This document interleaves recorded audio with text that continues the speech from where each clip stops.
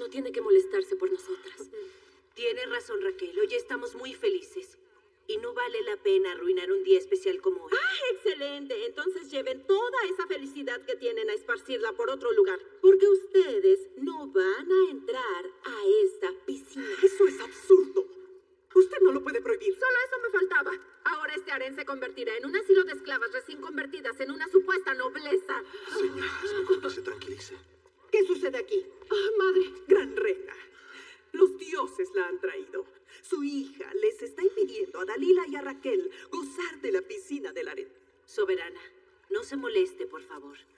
Sabemos que tiene otros asuntos mucho más importantes que atender. No queremos causarle problemas y tampoco queremos entrar a la piscina. Ustedes están casadas con hombres de confianza del rey, sabios administradores de Babilonia. Menospreciarlas sería como menospreciar al mismo reino. Hasta ayer eran únicamente siervas, madre. Si no recuerdas nuestras reglas de conducta, puedes ir con tu hijo a clases con Aspenaz. Como princesa, tú deberías ser la primera en actuar correctamente y no estar creando problemas banales como este.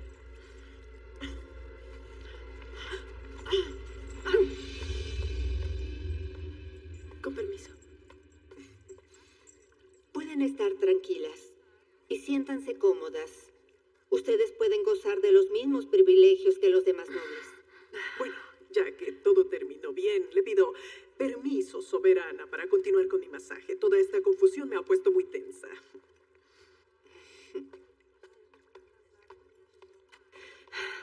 Reina, me gustaría continuar cosiendo para usted. Es lo que más amo hacer y para mí es un honor servirla. Te lo agradezco. Y me alegra escuchar eso. Aspenaz también debe sentir alivio con esta información, ¿no es así? Reconozco que estaba preocupado pensando en dónde encontraríamos una artesana a tu altura. Raquel, me gustaría saber si tú puedes seguir cuidando a Shamiram hasta que encontremos a alguien de confianza. Claro, señora, yo misma iba a proponerle eso. Es una gran alegría servirle a la princesa. Estaba pensando en ir a verla ahora mismo. Gracias, Raquel. Mi padre cometió incontables abusos. Todo lo que me contaste es terrible. Así fue como me sentí en la sala del trono, príncipe. Asustado. Se ve exhausto también, general. Fue una noche penosa. Intenté mantener las cosas bajo control, pero el rey estaba irritable. No me atreví a dejarlos o el juego pudo haber llegado más lejos. Pensé que iría calmándose con el paso de los años. ¿Qué es lo que nos espera en el futuro? Sé que se siente inseguro por no ser el guerrero que su padre tanto deseó, príncipe. Mi padre nunca ha ocultado esa decepción conmigo. Nabucodonosor será recordado por todo lo que hizo. Babilonia nunca tuvo un rey tan grandioso. Pero No le des vueltas, Ariok. ¿Qué me quieres decir? ¿Crees que él está perdiendo los límites? yo no diría eso, príncipe. Solo quería que supiera que creo en usted. Por más triunfos que tenga su padre, sé que Babilonia estará en buenas manos en el momento en que asuma el trono. Gracias, Ariok. Espero no decepcionarte cuando ese día llegue. Ahora, con su permiso, debo ir a descansar.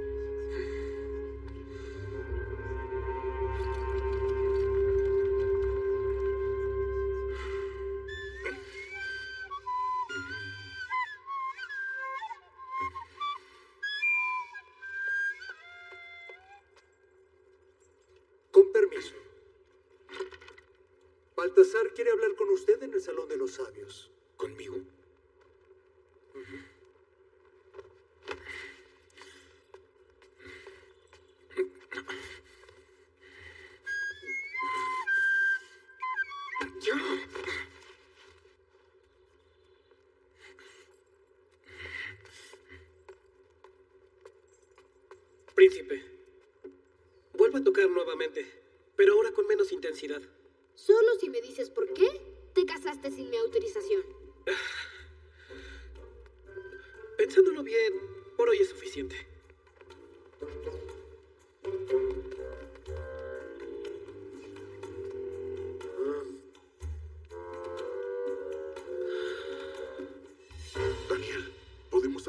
Que con mejores condiciones la vida de un esclavo es más larga y por lo tanto sirve más tiempo a Babilonia.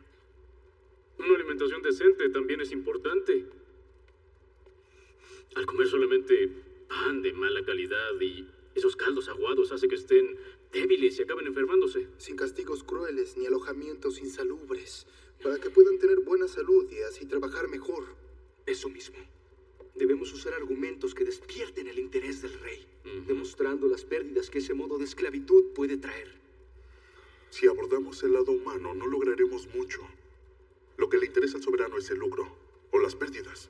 Exactamente, Abednego. Debemos tener cuidado en la manera de abordar ese asunto, para que el soberano no interprete la propuesta como una revuelta de nuestra parte. Ah, incluso porque nosotros también somos esclavos del reino, con ciertos beneficios, pero esclavos. Lo primero que necesitamos hacer ahora es buscar apoyo para nuestra causa. Aspenaz me dijo que querías verme. Me sorprendió mucho el llamado.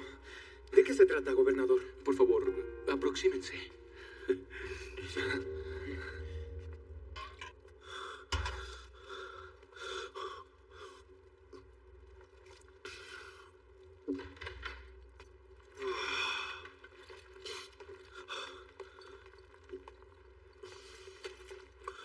¿Todo bien? Fuera de la resaca todo perfecto.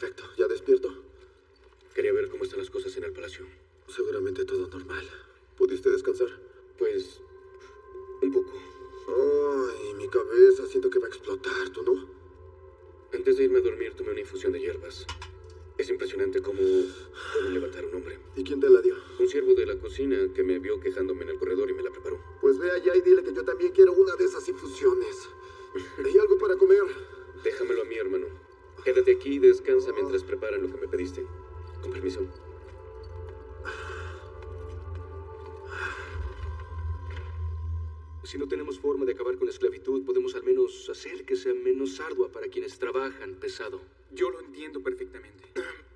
¿Acaso los esclavos no son para, Para eso? trabajar, sí. No para ser capturados y sufrir abusos por parte de los capataces. Tampoco tienen derecho a una buena alimentación. Y muchos mueren a causa de esas condiciones. Lo que son pérdidas para los servicios de la ciudad y el reino en términos generales. Viéndolo desde ese punto, ustedes tienen la razón. Entonces van a ayudarnos con esta tarea. Cuenten conmigo.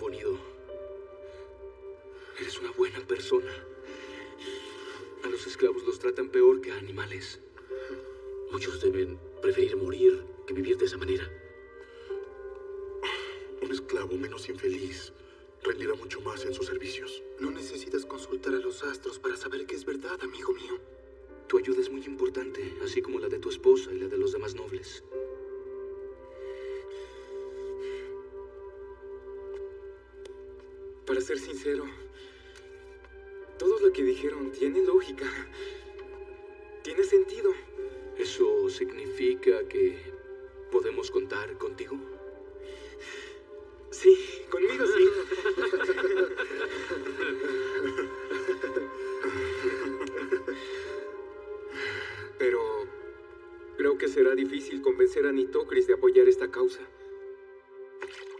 Ah, ¡Qué agua tan deliciosa!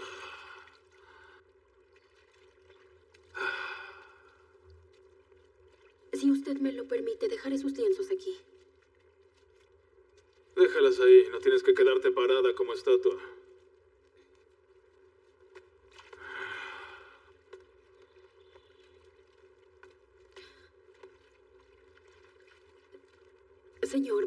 Señor,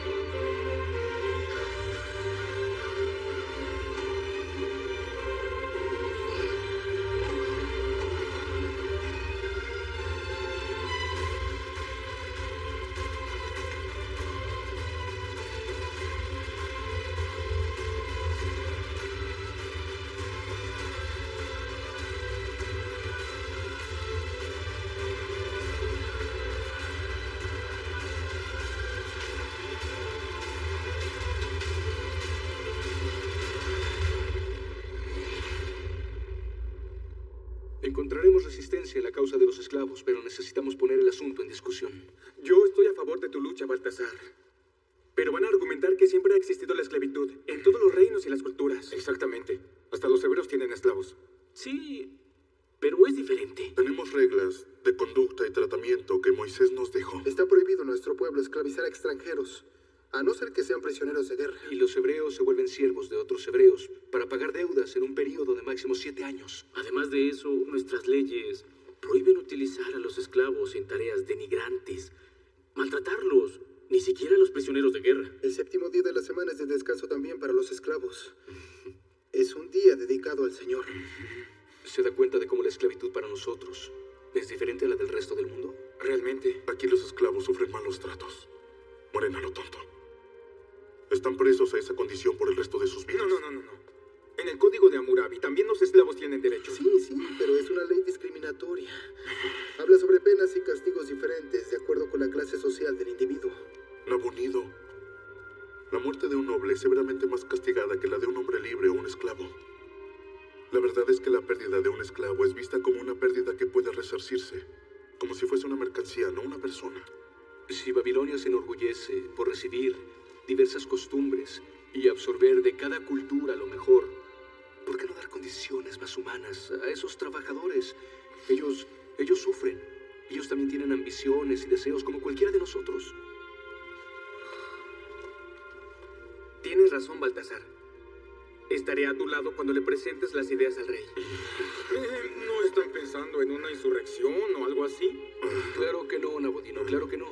Somos muy leales al soberano y nunca revolucionaríamos a nadie contra el reino, porque Dios no lo ordenó así, sino al contrario. Ah, no. ¿Y qué es lo que su Dios dice al respecto?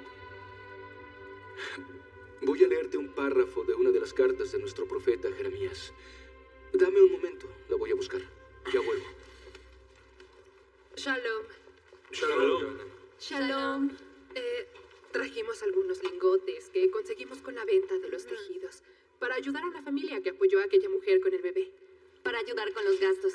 Estoy muy orgulloso de ustedes. Malca ayudó con la compra de telares para el entrenamiento. Isaac nos ayudó con lana. Excelentes noticias. ¿Quién es Malca? Es la hija de un rico comerciante. Estaba en la fiesta de las bodas. Es muy simpática. Nos hicimos amigas.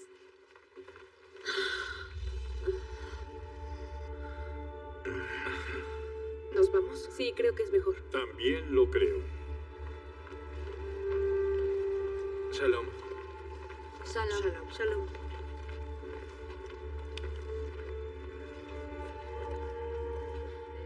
¿Viste la cara con la que el siervo de Fasur te vio? Olvídalo. Yo ya lo olvidé. Él ya no es siervo. Es señor. Debe ser por eso. No entendí bien. No, pero ahora lo va a entender. Habla. Mm, pues adelante, Osiel. Bueno, por la situación en la que me encuentro y la relación con mi antiguo señor y de quien era antiguo siervo, esta situación se ha visto invertida, de pies a cabeza y viceversa.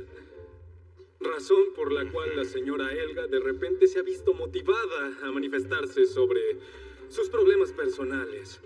Eh, propongo, esperando que estén de acuerdo conmigo, que en este caso, la conducta recomendada, en el buen sentido, es que los intereses en juego no se confronten de manera indeseada por todos nosotros.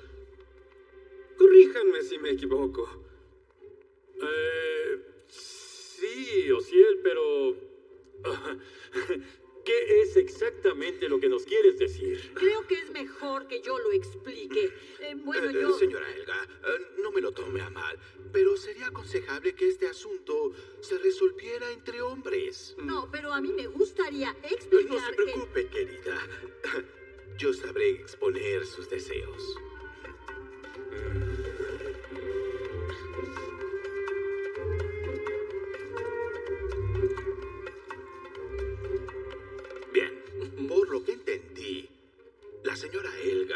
Sintiéndose solitaria y aunque aún no tiene ningún pretendiente, desea casarse nuevamente. ¿Y entonces? ¿Y entonces?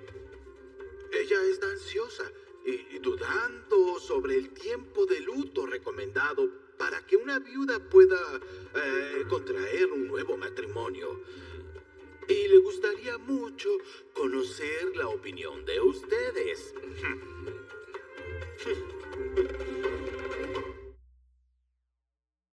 Construyan sus casas, cultiven sus jardines, siembren los campos, tomen mujeres, multiplíquense, tengan hijos e hijas, den maridos a sus hijas, esposas a sus hijos, para que también ellos tengan hijos e hijas.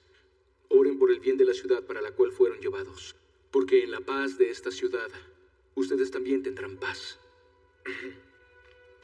¿Y ese profeta, cómo dices que se llama? Jeremías. Jeremías. ¿Cómo supo todo eso? ¿Que mi soberano suegro vendría, los convertiría en cautivos?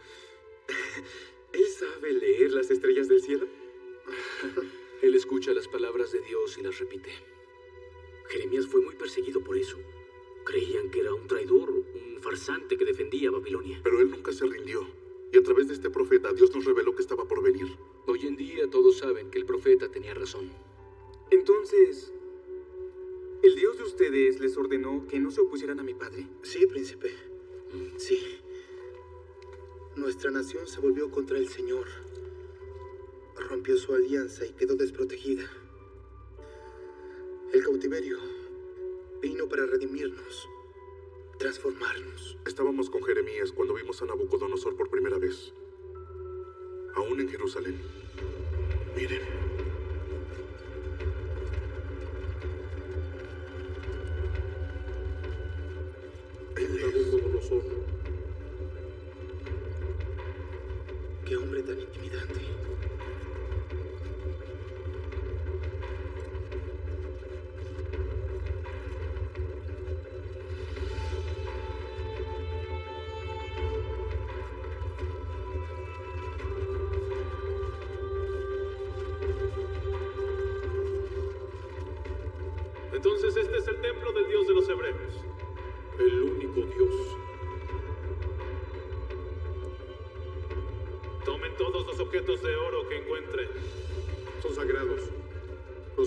Se los pueden llevar de aquí.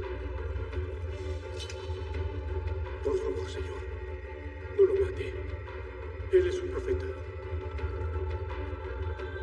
Un profeta. Él habla con nuestro Dios. Aléjate. Aléjate.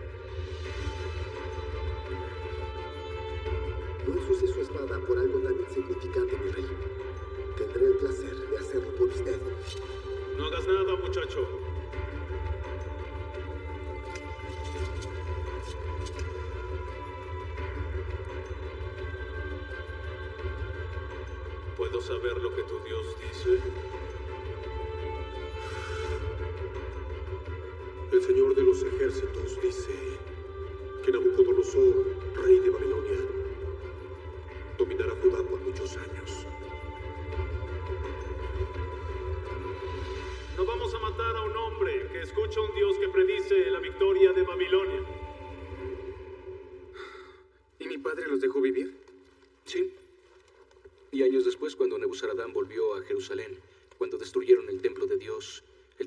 Órdenes del rey para resguardar a Jeremías, quien estaba encarcelado.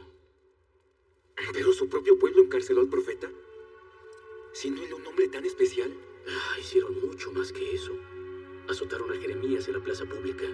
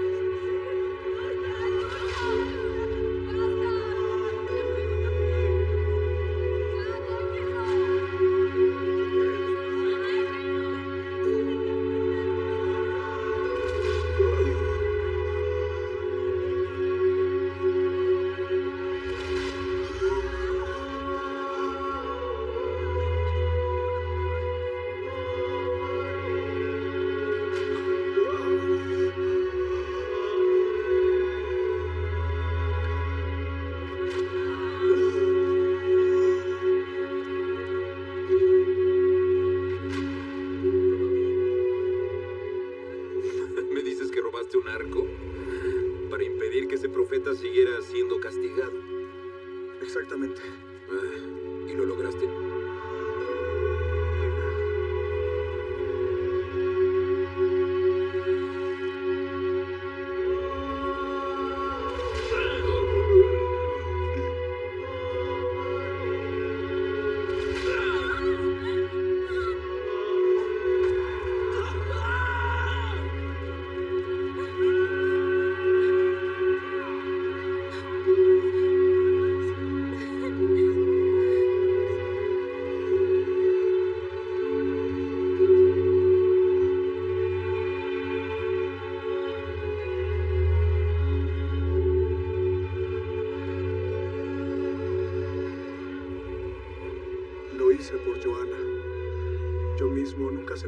Palabras de Jeremías. ¿Y qué es lo que ese profeta decía? Lo que él decía es que Nabucodonosor venía en camino y que haría a nuestro pueblo cautivo. Pero solo anunció nuestra derrota. Pero él tenía razón, ¿no es así? Sí. Jeremías tuvo razón todo el tiempo. Y el pueblo de Israel acabó preso por no haberlo escuchado. Es impresionante que esas cosas hayan sido escritas antes de que trajeran a los esclavos de Judá. Y le he contado todo esto, príncipe, para que sepa que nosotros somos ante todo leales a nuestro Dios. Sus órdenes fueron que quedáramos en paz en Babilonia. Y no hay duda de que así lo haremos. Sabes que siempre he confiado en ti, Baltasar. Los hebreos son muy poderosos. Tienen profetas que conocen el futuro. Castigados que salen enteros del horno de fuego. El sueño del rey que revelaste, Daniel. Yo no lo revelé en Abodino, fue Dios quien me lo reveló. Así como fue el Señor quien nos salvó de las llamas. Y fue Él quien me puso como gobernador. No tenemos ningún poder. Quien lo tiene es Dios. Aún aceptando el cautiverio, sé que Dios espera que luchemos. No solo por los hebreos, sino también por los derechos mínimos de los esclavos, sin importar su origen. Siendo protegidos por una fuerza tan poderosa, indudablemente tienen mi apoyo. Pero como ya les dije, no puedo garantizar que voy a convencer a mi esposa de aceptar. De cualquier forma, vamos a analizar la situación, preparar propuestas antes de presentarle el tema al rey. Cuenten conmigo para lo que necesiten. Agradezco su apoyo. Los mantendré informados.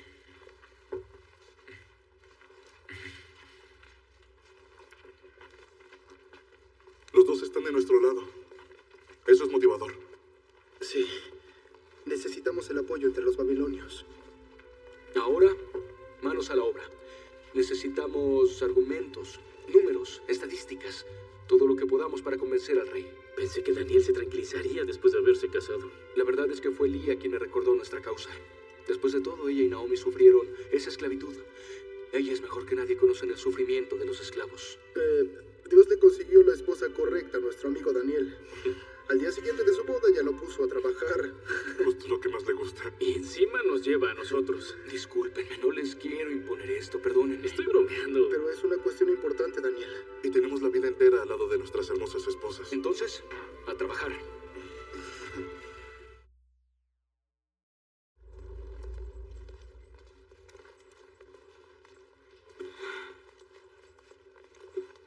¿Te sientes bien, Kanish? Veo un poco pálida. Tuve un pequeño mareo. Nada grave. Ya pasó. Con el embarazo no se juega. Necesitas reposar. Estoy bien, señora. Solo tuve que pedirle a Edisa que le llevara los lienzos de lino al soberano. Mientras me recuperaba del malestar. No podía dejarlo esperando. Hiciste bien. Ahora mismo voy a buscar sus joyas con el orfebre real. Revisa que estén bien limpias. La última vez no quedé satisfecha. Pero después, por favor, reposa. Sí, señora. Con permiso. Solo espero que mi marido haya despertado con mejor humor. Que los dioses la escuchen. Ahora talla mis hombros.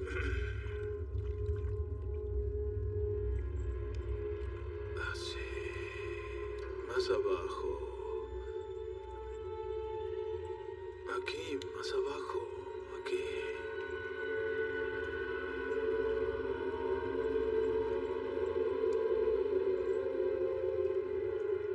Manos tan suaves tienes.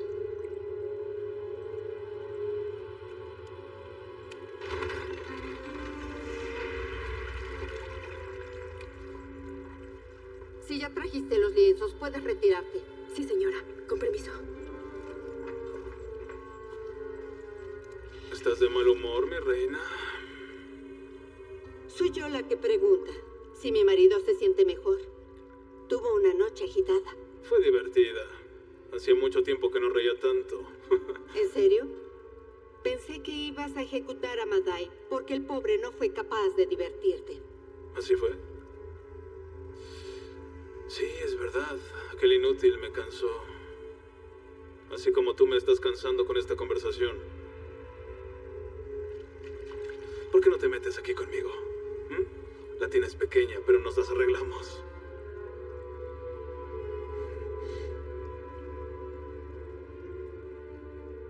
Puedes retirarte, Aspenaz. Sí. Con su permiso, soberano. Ya me bañé, mi marido. Pero puedo tallarte si lo deseas.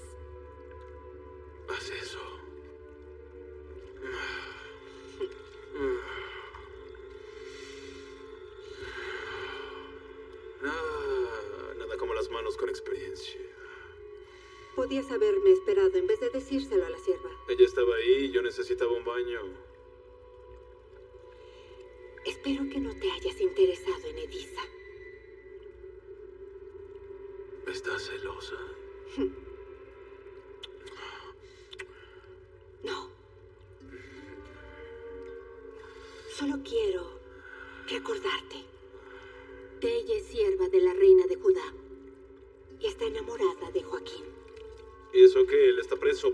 por traición.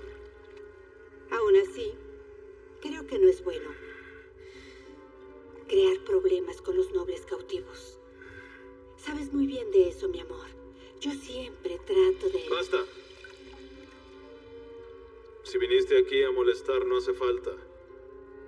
Ya terminé de bañarme. Quiero secarme.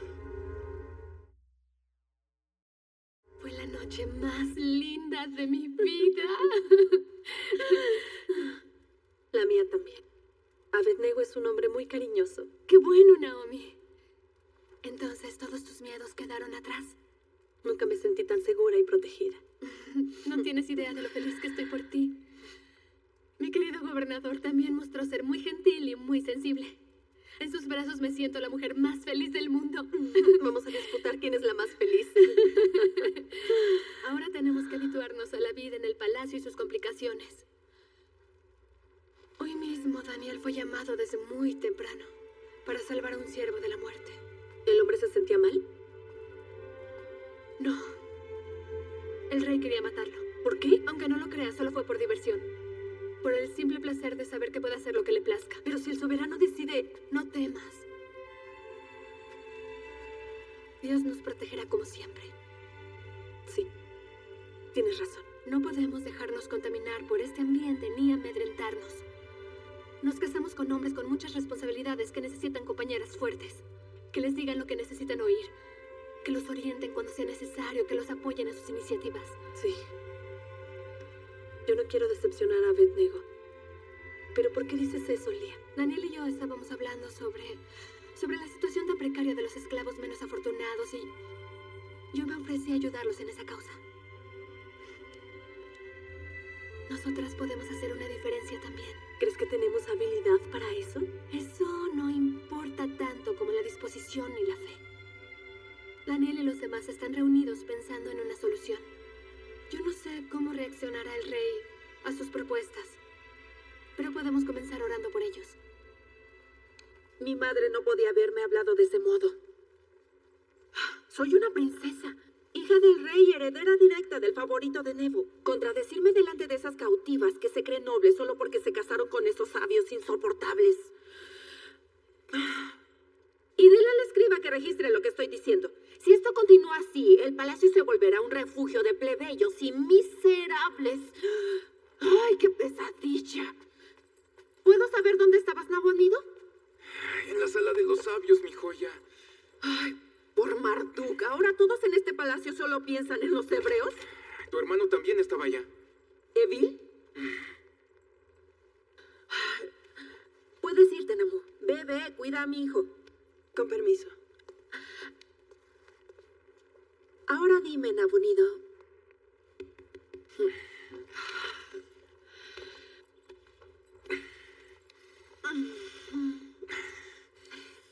¿De qué hablaron? Baltasar está incómodo por las condiciones de trabajo de los esclavos. Ay, no puedo creerlo. ¿El gobernador se casa con una esclava y quiere transformar este palacio en beneficencia para esa gente? La verdad está preocupado por los esclavos de todo el reino. Amor, me impresionó lo que ellos contaron sobre los profetas. El dios de los hebreos. ¡Ay, basta, Nabonido, basta! Te prohíbo dar tu apoyo a cualquier idea que surja de ellos. ¿Entendiste? Te lo prohíbo. Pero mi amor, son propuestas de avance para el reino en su conjunto. No vives queriendo que me involucre, No entonces... me interesa saber de qué se trata. Solo finge que los apoyes. Solo finge. ¿Qué dices? Ay, sé inteligente, Nabonido. Baltasar tiene poder.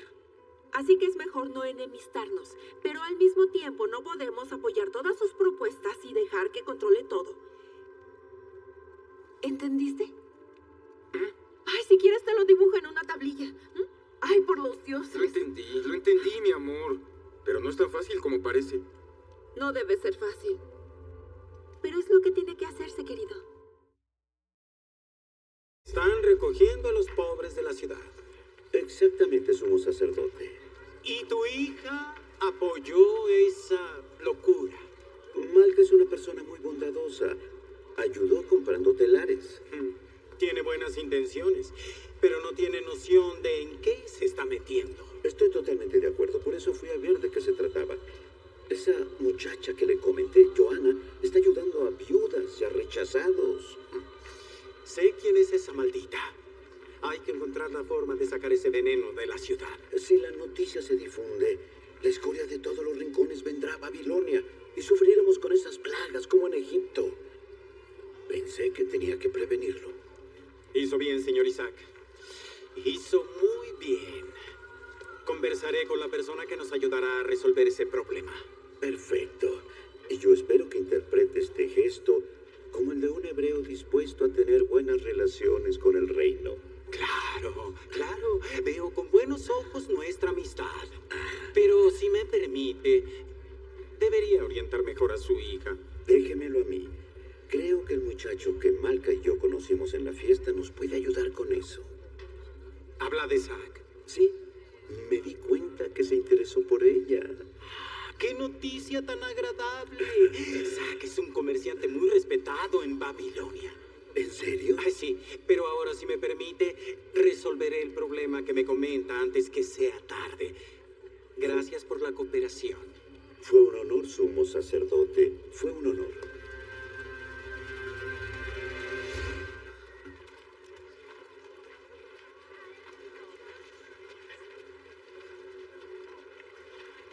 Es muy bonito aquí. La corriente de esas aguas me tranquiliza. Me sucede lo mismo a mí. Es como una bella imagen viendo pasar el tiempo. Shalom. Shalom. Shalom. Dudo que adivinen qué es lo que tengo aquí. ¿Qué es? La lana que les prometí. ¿Qué Ah, ¡Qué maravilla, Zack! Vamos a ayudar a mucha más. gente. Qué bueno. Y más con la donación de los telares. ¿Quién los donó? Eh, fue Malca. La conociste en la boda de los sabios. Es la hija del comerciante Isaac. Sí, nos presentaron, pero no diría que la conozco. Pero qué bueno que ella los donó. Ella me parece una gran persona. Muy gentil y muy bonita, Zack. Bonita, bonitas son estas tres chicas aquí a mi lado. Pero con respeto, porque ahora Rebeca es una señora casada. Muy bien casada. Y muy feliz. Es un hecho que el matrimonio le hace bien a las mujeres. ¿Y a los hombres no? Ah, a los hombres también, a los hombres también. Me olvidaba de ellos. Eh, bueno, tenemos que irnos.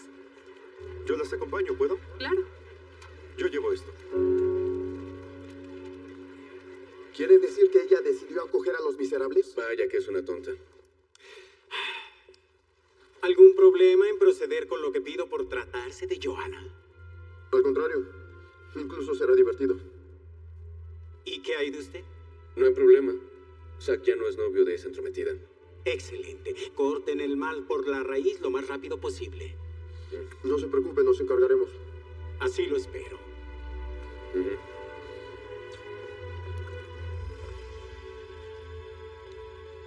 Y entonces, Rabisaris, vamos a divertirnos un poco. Claro. Siempre cuentas conmigo, hermano. No somos ricos, pero hambre no van a pasar. y lo más importante, quien lo desee aprenderá un oficio con el que podrán sustentarse y criar a sus hijos dignamente. Ah, por lo visto la noticia se esparció. Ah, qué bueno que encargué más lana. Son los telares. Rebeca y Joana, por favor reciban los telares. Yo. Dana, ven conmigo. Vamos a hornear pan para alimentarlos a todos. Vamos, hija.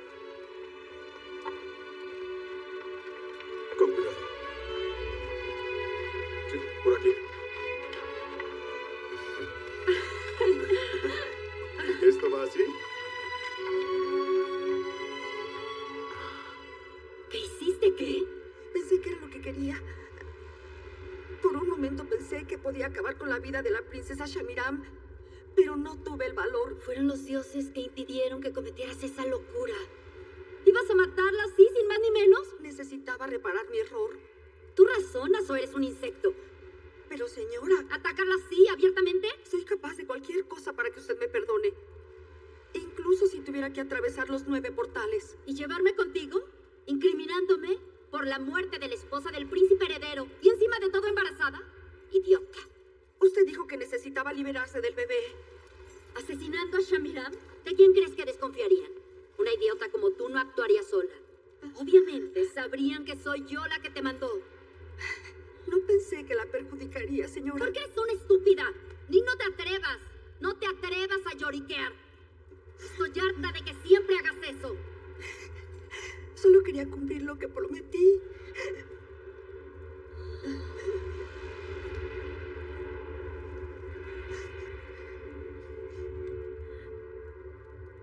Hay otra manera de recompensarme por tus errores.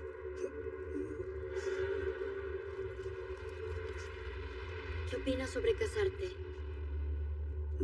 Continúas Ya están listos estos panes. cuando llegues al final de la No sé semana, mañana qué más Se cayó. le das la vuelta y un giro. Mira, que mira esto. nada más.